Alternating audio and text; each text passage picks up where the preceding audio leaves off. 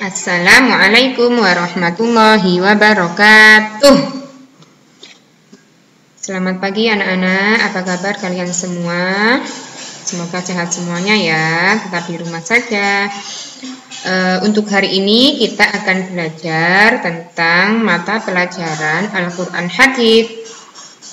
Anak-anak, e, untuk pelajaran Al-Quran Hadith ini, anak-anak bisa uh, membaca di buku juz 30 atau juz amma ya anak-anak ya. Karena di buku paket kita e, untuk semester 2 ini kita sudah tidak memakai buku paket lagi. Jadi kita memakai buku digital. Buku digital itu adalah buku yang e, didapat dari laptop ya dibukanya di laptop jadi anak-anak dipelajari apa saja yang e, Bu Eni kasih ya. E, sebelum pembelajaran kita mulai, mari kita baca doa terlebih dahulu agar Allah Subhanahu wa taala memberikan kemudahan, kelancaran dalam belajar serta kesehatan dan perlindungan. Amin ya rabbal alamin. Mustafa Rasulillah sallallahu alaihi wasallam wa alihi wa azwajihi wa auladihi wa dzurriyyatihi. Al-Fatihah. أعوذ بالله من الشيطان الرجيم. بسم الله الرحمن الرحيم. الحمد لله رب العالمين. الرحمن الرحيم. مالك يوم الدين. إياك نعبد وإياك نستعين. اهدنا الصراط المستقيم. صراط الذين أنعمت عليهم غير المغضوب عليهم غير المغضوب عليهم ولا الضالين.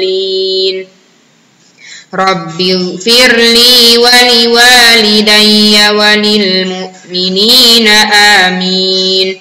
رب اشرح لي صدري ويسر لي أمري واحلل عقدة من لساني يفقه قولي. رضيت بالله ربا وبالإسلام دينا وبمحمد نبيا ورسولا. ربي زدني علما وارزقني فهما واجعلني من عبادك الصالحين. آمين يا رب العالمين. Alhamdulillah doa sudah kita laksanakan bersama. Semoga kita selalu dalam perlindungan Allah dan diberikan kesehatan, dijauhkan dari segala macam cobaan dan mara bahaya, terutama virus corona ini. Dan semoga virus ini segera diangkat Allah dari bumi kita tercinta ini. Amin ya rabbal alamin. Untuk uh, pelajaran selanjutnya pada semester 2 ini kita akan mempelajari tentang surah Al-Kafirun. Kita baca dulu bersama-sama ya, pelan-pelan dan harus benar. A'udzu billahi minasyaitonir rajim. Bismillahirrahmanirrahim.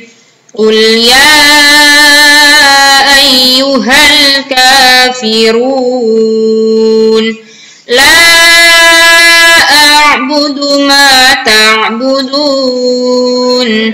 ولا أنتم عابدون ما أعبد ولا أنا عابد ما عبدتم ولا أنتم عابدون ما أعبد lakum dinukum waliyadin Sadaqallahul azim Nanti tugasnya anak-anak adalah membaca, membaca saja ya, bukan dihafalkan, membaca surah Al-Kafirun beserta artinya didampingi sama orang tua. Jadi kalau ada kesalahan, orang tua bisa membetulkan atau memperbaiki bacaan anak-anak. Kita akan mempelajari tentang artinya ya. Arti dari surah Al-Kafirun. Ulia ayyuhal kafirun, katakanlah Muhammad, wahai orang-orang kafir. Yang kedua, aku tidak akan menyembah apa yang kalian sembah. Arti ayat yang ketiga, dan kalian bukan penyembah apa yang aku sembah. Yang keempat, dan aku tidak pernah menjadi penyembah apa yang kalian sembah. Yang kelima, dan kalian tidak pernah pula menjadi penyembah apa yang aku sembah. Ayat terakhir, untukmu agamamu dan untukku agamaku. Anak-anak bisa diulangi ya untuk e, membaca surah Al-Kafirun beserta artinya diulang-ulang nanti setelah siap baru anak-anak e, membaca kemudian di video. Jadi kalau belum siap jangan di video dulu. Nih ya. Nanti dibaca di rumah, tidak usah dihafalkan.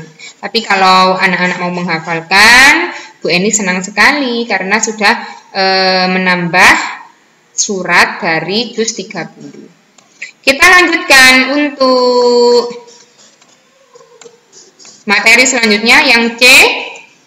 Memahami isi kandungan surah Al-Kafirun. Nah, kita akan mempelajari isi kandungannya ya. Surah Al-Kafirun terdiri dari 6 ayat. Dalam Al-Quran, surah Al-Kafirun terletak pada urutan ke-109. Jadi, surah Al-Kafirun adalah ayat ke-109 dari 114 surat di dalam Al-Quran. Surah Al-Kafirun tergolong surah Makiyah karena diturunkan di kota. Al-Kafirun artinya orang-orang kafir yang disebut orang kafir adalah orang yang tidak menyembah kepada Allah Subhanahu wa taala atau orang yang menyembah selain Allah. Jadi bukan Allah yang disembah. Misalnya menyembah patung, matahari, kemudian e, gambar atau foto. Nah, itu disembah.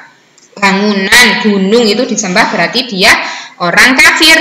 Dia menyembah bukan Allah tapi selain Allah. Isi kandungan surat Al-Kafirun yang pertama, surah ini dinamakan Al-Kafirun karena berisi seruan terhadap orang-orang kafir. Yang kedua, pernyataan bahwa Nabi Muhammad Shallallahu Alaihi Wasallam tidak akan menyembah apa yang disembah oleh orang-orang kafir. Kemudian yang ketiga, Nabi Muhammad Shallallahu Alaihi Wasallam tidak akan pernah mengikuti ajaran orang kafir. Kemudian yang keempat bahwa Tuhan yang disembah Nabi Muhammad Shallallahu Alaihi Wasallam dan para pengikut beliau bukanlah Tuhan yang disembah oleh orang-orang kafir. Usaha orang-orang kafir untuk melarang dakwah Nabi Muhammad Wasallam tidak akan pernah berhasil.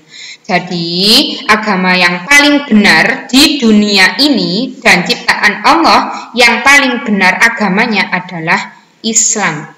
Kemudian kitabnya adalah Al-Quran. Jadi selain itu tidak akan masuk surga. Ya, ingat-ingat. Kesimpulannya, yang pertama, surah Al-Kafirun terdiri dari enam ayat terletak pada urutan ke-109. Surat ke-109 dari 114 surat di dalam Al-Quran. Yang kedua, Al-Kafirun artinya orang-orang kafir. Kemudian yang ketiga, orang kafir adalah orang yang tidak menyembah kepada Allah Subhanahu wa taala. Yang keempat, Nabi Muhammad Shallallahu alaihi wasallam tidak akan menyembah apa yang disembah oleh mereka. Siapa tadi mereka? Orang-orang kafir. Nah, Na'udzubillah min dalik ya. Tuhan kita hanya satu yaitu Allah Subhanahu wa taala.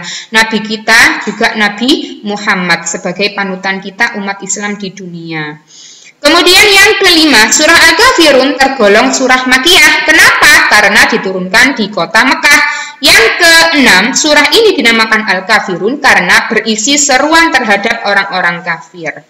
Yang terakhir, surah Al-Kafirun Kemudian untuk kesimpulan Uh, yang terakhir adalah surah Al-Kafirun berisi pernyataan bahwa Tuhan yang disembah Nabi Muhammad Shallallahu Alaihi Wasallam dan para pengikutnya bukanlah apa yang disembah oleh orang-orang kafir dan Nabi Muhammad Shallallahu Alaihi Wasallam tidak akan menyembah apa yang disembah oleh orang-orang kafir.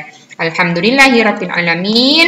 E, Untuk pelajaran Al-Quran hadis hari ini telah selesai. Sekian dan terima kasih. Semoga ilmu yang Bu Eni berikan bermanfaat untuk anak-anak semua di rumah. Semoga kita semua selalu dalam perlindungan Allah subhanahu wa ta'ala Amin ya Rabbal Alamin. Tetap semangat belajar di rumah dan tetap di rumah saja, jangan ke mana-mana. Semoga eh, anak-anak uh, selalu sehat ya, jaga kesehatan, jaga pola makan, minum vitamin. Kalau keluar rumah harus pakai masker, kemudian pakai sanitizer atau sering-sering cuci tangan. Wassalamualaikum warahmatullahi wabarakatuh.